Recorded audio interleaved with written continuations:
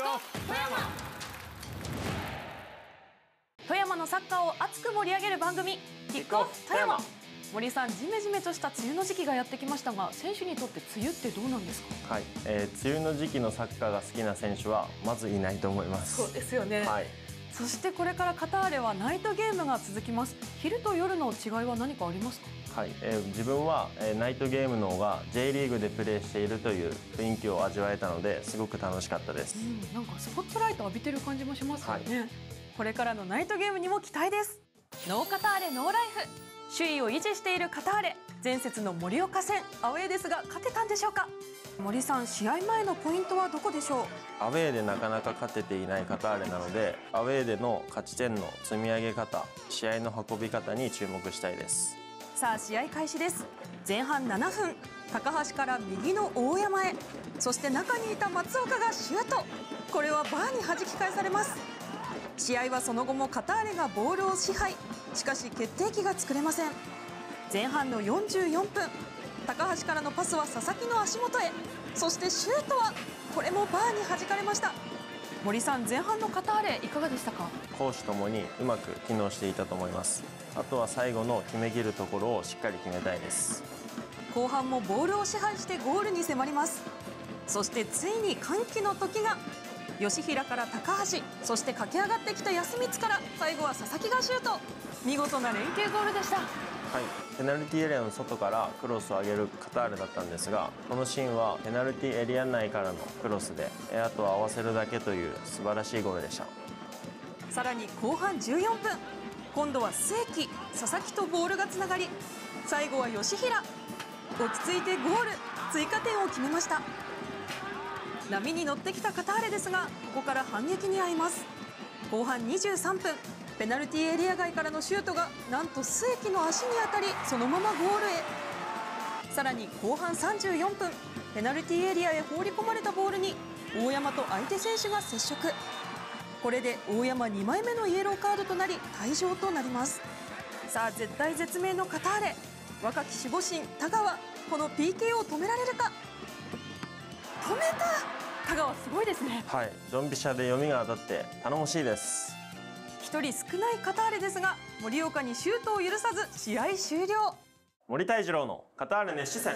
森さんすごい展開となりましたね、はい、ヒヤヒヤしました。見事勝ち切ってくれました。この試合のポイントはどこでしょうか？はいこの試合のポイントは中盤と、えー、最終ラインの間でボールを受けれるようになったことです。このシーンなんですが相手の最終ラインと中盤のラインの間にボールが入ることで相手の最終ラインは中央に集まってくるのでこういったサイドが入ってきます。でクロスを上げる時も最終ラインは、えー、ゴール方向をやられたくないのでラインが下がることで最終ラインと中盤のギャップが生まれてでそこにいいクロスが入ってあとは決めるだけというシーンでした。でここも最終ラインの選手がマークにつられたことで後ろのスペースが空いて背後をうまく取った。素晴らしい流れからの得点でした。カターレはこういった攻撃を増やしたいです。首位をキープして今夜は八戸戦。午後6時からこの後キックオフです。さてここからは J リーグとタイトルパートナー明治安田生命が取り組む地域に根ざした活動を紹介します。J リーグと明治安田生命はタイトルパートナー契約を更新し2023年からの4年間も共に歩むこととなりました。J リーグとしては世界一クリーンなリーグというのを目指したいという意思もございますのでそういったところもこの先一緒に歩んでいけたらな共同していけたらなというふうにま考えています。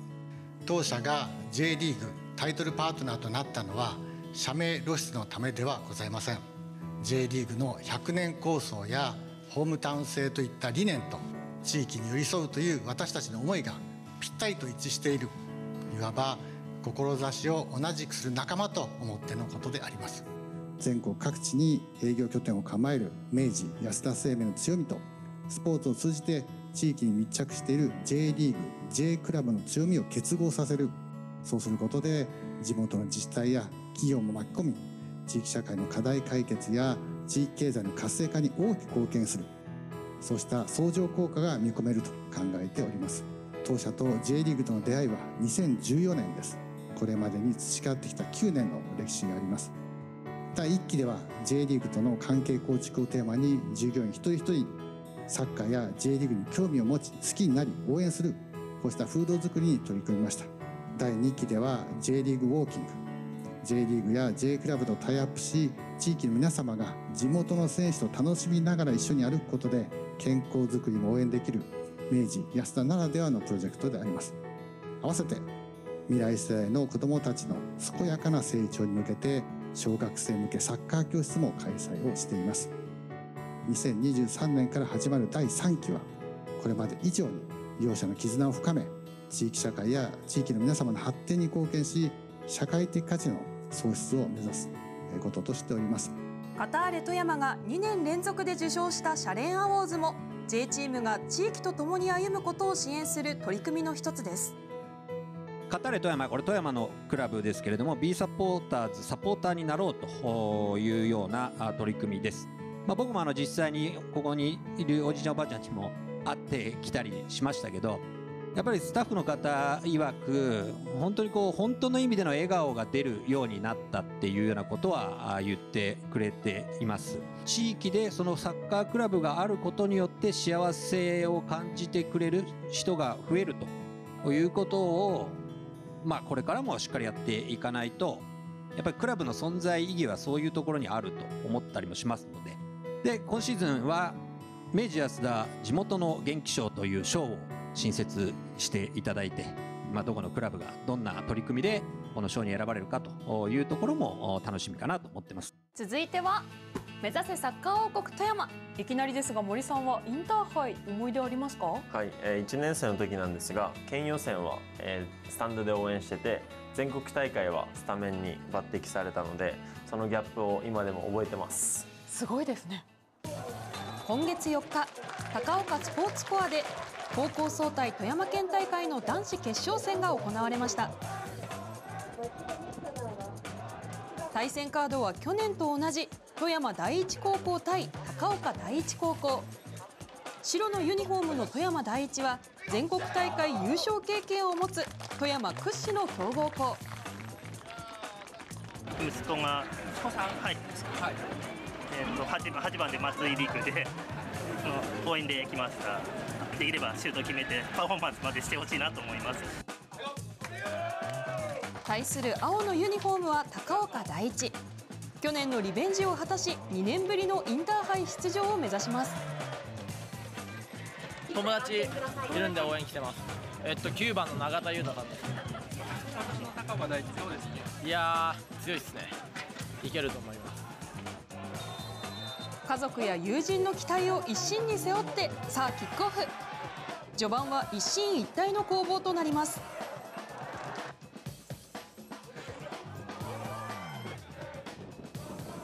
その均衡を破ったのは前半24分。富山第一の稲垣が先制ゴール。そしてその3分後同じく富山第一の平田が追加点。このままでは終われない高岡第一も後半巻き返しを図ります。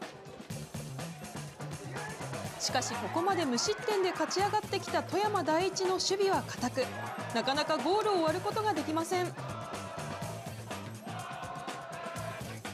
流れを変えたい高岡第一ですが相手に3点目を許し高岡第一のリベンジならず。富山第一高校が2年連続でインターハイ出場の切符をつかみました。決勝戦に来るのは高一だろうと最初が思っていたので絶対に負けられないという気持ちで臨みました。点決めた時の盛り上がりとか応援が返ってきてみんながチームを勝たせてくれたので嬉しいです。選手たちは日本一になりたいっていう目標を持って今年活動しているので、まあ、少しでもその目標に近づけるように、あのチーム一丸となってあの北海道に乗り込みたいなと思ってます。今年の全国高校総体は北海道で来月29日から開催されます。頑張れ富山第一。ここからはみんなのサッカー情報です。北信越高校総体が行われ富山第一は決勝戦で惜しくも敗れ準優勝となりました。富山県スポーツ少年団競技別総合交流大会が行われプリマベーラ入善が優勝を飾りました。全国クラブチームサッカー選手権富山県大会が行われベスト4が決まりました。準決勝は来月9日に行われます。詳しくは富山県サッカー協会のホームページをご覧ください。2023明治安田生命 J リーグコナミ月間 MVP5 月度が発表されご覧の選手が受賞しました。月間ベストゴールはご覧の選手。月間優秀監督賞の受賞者はご覧の方々です。さあ森さんカターレは来週もホームで鹿児島戦があります。はいここからは上位対決が続くので絶対に落とせませんホームで負けられません。皆さんスタジアムで応援しましょう。それでは来週もこの時間に。キックオフ富山